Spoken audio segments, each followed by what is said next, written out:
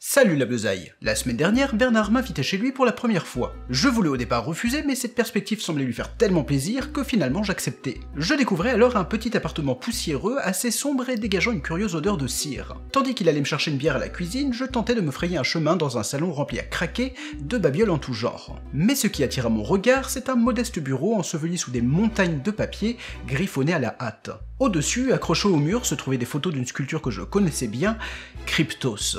Si vous ne connaissez pas Cryptos, il s'agit d'une sculpture qui siège dans l'enceinte du quartier général de la CIA. Elle est composée de deux morceaux de granit, d'un morceau de bois pétrifié, d'une petite fontaine, et surtout d'une structure de cuivre en forme de S, comptant plus ou moins 2000 lettres de l'alphabet. C'est une sculpture réalisée par un duo assez improbable, le sculpteur Jim Sandberg et le cryptographe Edward M. Scheidt. La partie centrale est divisée en quatre panneaux distincts et le texte qui y figure est crypté et à ce jour toujours non résolu. Selon Sandberg, une fois la totalité du texte décrypté, une ultime énigme serait révélée, conduisant l'élu au sein du bureau de la CIA pour y découvrir un secret jamais révélé au grand public. Si en 2010, une partie du message a été déchiffrée par différentes personnes, dont certaines faisaient partie d'un groupe d'études de la NSA, le mystère reste encore aujourd'hui entier. Et autant dire que, vous vous en doutez, les théories les plus farfelues ont vu le jour concernant la nature de ce secret caché. J'apprenais donc un peu par hasard que Bernard était un véritable passionné de cryptologie. Cela faisait plus de 4 ans qu'il planchait sur le sujet, ce qui expliquait grandement les poches violacées sous ses yeux. Sachez qu'il aurait adoré vous présenter lui-même ce sujet, mais il est beaucoup trop timide pour ça. Il m'a donc chargé d'en parler à sa place. Ce seront par conséquent plus ou moins ces mots qui sortiront de ma bouche aujourd'hui. Comme quoi, il peut parfois être utile à quelque chose. Comme on a pas mal de choses à voir, exceptionnellement, cette émission sera divisée en deux parties. Il n'y aura pas de sondage dans celle-ci. Cependant, je vous conseille de garder les yeux bien ouverts durant la totalité de l'épisode. Vous y trouverez tout ce dont vous avez besoin pour trouver la réponse à la question qui viendra en seconde partie. Bref, vous l'aurez compris aujourd'hui, nous allons parler cryptographie.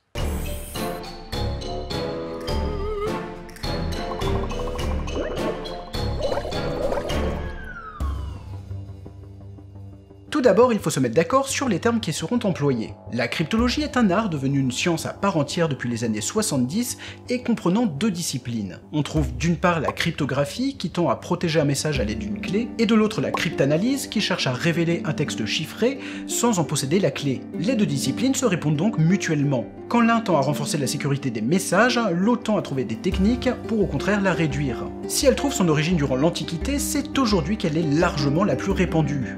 En effet, le nombre de nos échanges avec les sorts d'Internet a littéralement explosé depuis les années 2000. Informations personnelles stockées dans les bases de données des différents sites sur lesquels nous sommes inscrits, correspondance par mail, transferts financiers, crypto-monnaies, réseau Wi-Fi, bref, jamais autant de données n'avaient circulé dans toute l'histoire de l'humanité. Données qu'il est souvent nécessaire de protéger. Mais n'allons pas trop vite et commençons notre voyage au 5e siècle avant Jésus-Christ. Xerxès Ier, roi des Perses, est bien décidé à envahir la Grèce.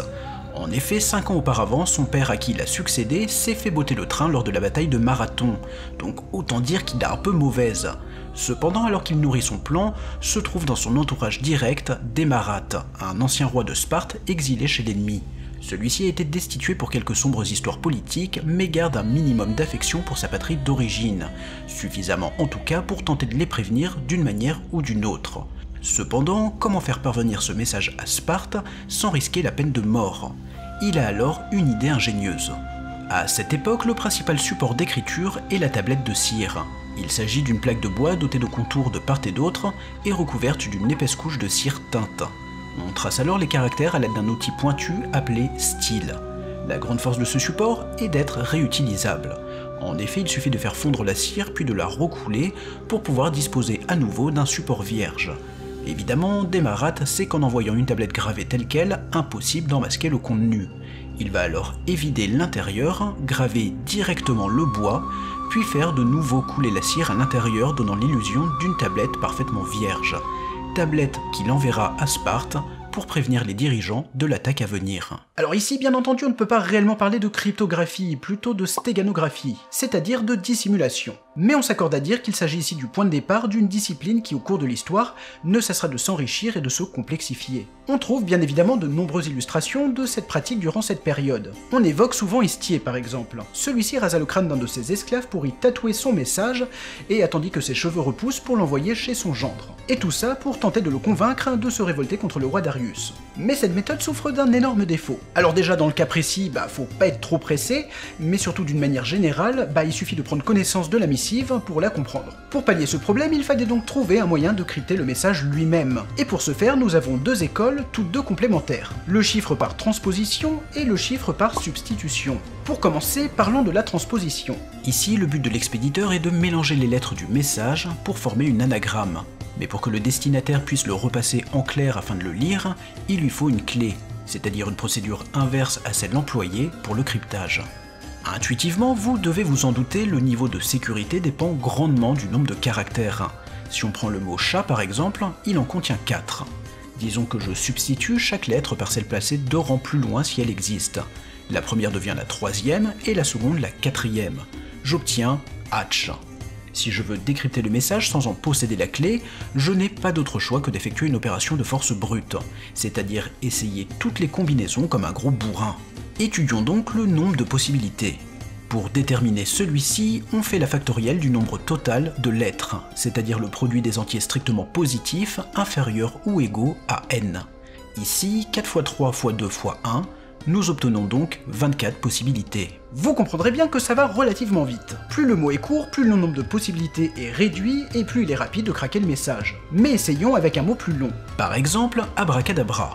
Nous avons ici 11 lettres. Si nous faisons factoriel 11, ça nous donne 39 916 800 possibilités. Sauf que non, c'est pas tout à fait comme ça que ça marche. Il y a une chose qu'on n'a pas pris en compte, et c'est super important, ce sont les lettres qui se répètent. Ça, ça change tout. Prenons par exemple les lettres AAB, ça ne veut strictement rien dire mais on s'en fout. De base, si on fait factoriel 3, ça nous donne 6 possibilités. Sauf que si vous avez les yeux en face des trous, vous vous apercevez rapidement que si on inverse la première et la seconde lettre, bah on obtient exactement la même chose. Lorsque dans un message des lettres se répètent, ça fait des possibilités en moins et il faut le prendre en compte. Pour ça, on va utiliser une relation mathématique proposée par Newton, la formule du multinôme. Bon, on aborde là la partie la plus technique de cette première partie. Ça reste des maths extrêmement basiques, mais si vous commencez à tourner de l'œil, accrochez-vous, ça dure pas longtemps. Au lieu de sortir la factorielle de manière brute, pour exclure les doublons, on va la diviser par le produit des factoriels du nombre de répétitions de chaque lettre. En clair, comme nous avons 5A, 2B, 1C, 1D, 2R et donc 11 lettres en tout, nous allons diviser factoriel 11 par factoriel 5 fois factoriel 2 fois factoriel 1 fois factoriel 1 fois factoriel 2. On se retrouve donc avec nos 39 916 800 possibilités divisées par 480, ce qui nous donne au final 83 160 transpositions possibles en excluant les doublons. Et là, vous devriez commencer à voir la puissance de ce type de cryptage. Parce qu'avec un simple mot de 11 lettres, même en réduisant au maximum les possibilités, on se retrouve avec un nombre absolument énorme. À titre indicatif, si on faisait le même calcul avec la courte phrase « Mon chat a pissé dans mes chaussons », on obtiendrait je vous, mets le chiffre là parce que de toute façon je sais même pas comment le lire tellement c'est énorme. Pour vous donner une idée de la démesure du bazar, si on demandait à l'intégralité de la population de l'Empire romain, soit un peu plus de 50 millions de personnes, de chercher la solution jour et nuit, si on considère que chaque personne sort une possibilité par seconde, il faudrait plus de 3 milliards d'années pour trouver la solution. Et tout ça pour apprendre que le chat du mec a pissé dans ses chaussons. Bref, je vous laisse imaginer le ridicule du truc pour un texte entier. Le tout premier dispositif de transposition militaire connu apparaît durant la guerre du Péloponnèse. Il s'agit de la citale, aussi connue sous le nom de bâton de Plutarque. Pour transmettre un message, on prenait une fine lanière de cuir, on l'enroulait autour d'un bâton de bois et on inscrivait son message dessus en plaçant une lettre par circonvolution. Pour que le destinataire puisse lire le message en clair, il devait lui-même l'entourer sur un bâton de même diamètre. Sans cette information de taille, sans mauvais jeu de mots, les lettres qui s'alignaient n'étaient pas les bonnes. Mais comme je vous l'ai dit, en cryptographie il existe deux écoles, et c'est la seconde qui va littéralement exploser dans les années qui suivent, le chiffre par substitution. Contrairement à la transposition qui garde l'intégrité de chaque lettre et change uniquement sa position, la substitution garde la position des lettres mais modifie leur identité. On en attribue généralement la première utilisation à Jules César, même si en réalité elle était sûrement connue depuis plus longtemps appelé chiffrement par décalage, et plus généralement et logiquement chiffre de César, c'est une méthode qu'il utilisait régulièrement pour faire passer des informations confidentielles. Dans ses courriers, il décalait systématiquement les lettres de trois rangs vers l'avant de l'alphabet. Le A devenait donc un D, le B un E, le C un F, etc. etc. Le mot topinambour deviendra donc à peu près.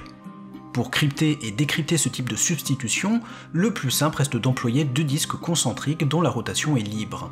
Une fois le bon nombre de décalages trouvé, il suffit de faire la correspondance. Bon, évidemment, niveau sécurité, c'est tout pourri. Un gamin est capable de craquer ça en 3 minutes montre en main. Sauf que César, bah il s'en foutait un peu, parce que les seuls à pouvoir intercepter ses messages, c'était les Gaulois. Et les Gaulois, bah ils savent pas lire. En tout cas, sûrement pas le latin. Du coup, on peut surtout s'interroger sur la nécessité de crypter ces messages. Ceci dit, ça ne veut pas dire que la méthode de substitution est inefficace. Loin de là. Ça veut juste dire que César faisait ça à la zob. En règle générale, pour utiliser la substitution de manière optimale, on va utiliser un mot qui servira de clé pour l'expéditeur et le destinataire. Vous allez voir, c'est très simple. Mettons que je décide que mon mot-clé est cerise. Je possède un tableau de 26 cases. J'inscris les 5 premières lettres dans les 5 premières cases, environ le E de la fin car il revient deux fois. Puis à partir de la dernière lettre, on continue l'alphabet en sautant chaque fois toutes les lettres déjà présentes. On obtient alors un tableau de correspondance à la fois simple à réaliser et extrêmement difficile à craquer. Il suffit que mon correspondant connaisse le mot-clé pour suivre le même algorithme et retrouver le message original. En fait, cette technique est si accessible et si efficace qu'elle domine très largement le premier millénaire. En effet, à première vue, sans en posséder la clé, il est absolument impossible de craquer ce cryptage. Mais ouais, vous vous en doutez, il y a un mais dans l'histoire. Au 9e siècle, les Arabes de l'islam des Lumières vont entrer dans le game de la cryptanalyse, et ils vont littéralement le mettre à terre. Grâce à l'étude du Coran, ils remarquent que certaines lettres sont plus utilisées que d'autres, et ça, c'est une information qui va absolument tout changer, car selon les variations de fréquence des lettres du texte chiffré et de sa langue, il devient possible d'établir des statistiques qui vont très largement réduire les possibilités de substitution. Par exemple, dans la langue française, la lettre E possède une fréquence d'apparition de 17,26%, c'est la plus haute. Dans un texte chiffré par substitution, la lettre qui revient le plus souvent a donc de fortes chances d'être sa remplaçante. En comparant les pourcentages d'apparition entre un texte en clair et un texte crypté, il devient tout à fait possible de déduire une bonne partie des lettres du message et donc d'en trouver la clé c'est ce qu'on appelle l'analyse fréquentielle. A contrario, côté Occident, on patauge sévère dans la smoule, et ce jusqu'au 15e siècle. C'est à cette époque que de grands cryptanalystes voient le jour aux différentes cours, forçant le monde de la cryptographie à revoir sa copie. La méthode de substitution qu'on utilise alors est devenue beaucoup trop facile à craquer.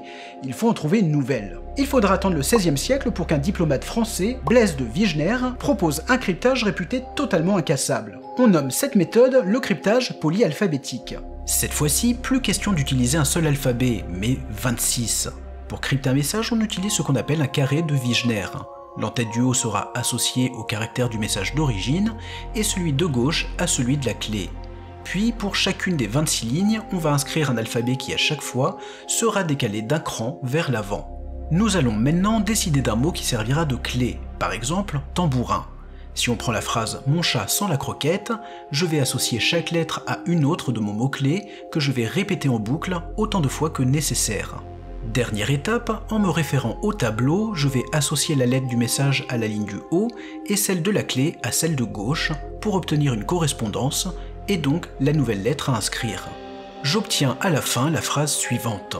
Et pour plus de sécurité, je vais subdiviser le tout en groupes de 5 caractères pour obtenir vous l'aurez compris, ce type de chiffrement résout complètement les soucis de craquage par analyse fréquentielle. En effet, on remarque que deux lettres identiques dans le message d'origine peuvent donner deux lettres différentes en sortie, et deux lettres différentes dans le message d'origine peuvent donner deux lettres identiques. Cependant, vous vous en doutez, quelqu'un va finir par craquer la méthode. Il faudra attendre plus ou moins 300 ans, mais Charles Babbage, un inventeur anglais, le mettra KO en 1854. Bon, après, il s'agit pas de n'importe qui non plus. Charlie, c'est quand même le mec qui est considéré comme l'un des principaux précurseurs de l'informatique, et le père de l'ordinateur moderne. Donc pas un branquignol. Alors là je vous l'annonce tout de suite, on va clairement pas rentrer dans les détails parce que ça commence à devenir franchement complexe. Mais en gros on va se servir d'un défaut non négligeable, la répétition du mot-clé. Il va remarquer la répétition de certains groupes de lettres dans les messages.